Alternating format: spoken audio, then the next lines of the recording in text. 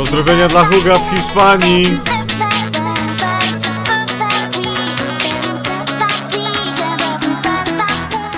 Pozdrowienia dla małych dzieci z Legionowa.